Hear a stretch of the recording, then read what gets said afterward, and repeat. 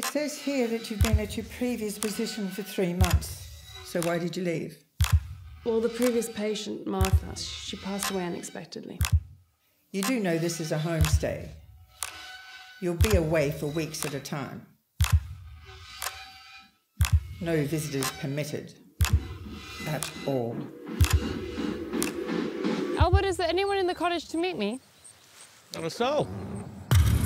The house yourself. And Grace, of course.